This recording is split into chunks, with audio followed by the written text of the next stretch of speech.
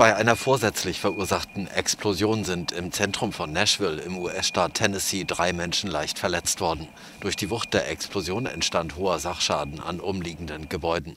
Die Behörden gehen davon aus, dass ein Sprengsatz in oder an einem Wohnwagen detonierte, der zuvor von Polizisten als verdächtig eingestuft wurde. Das Zentrum von Nashville wurde für die Dauer der Ermittlungen weiträumig abgesperrt.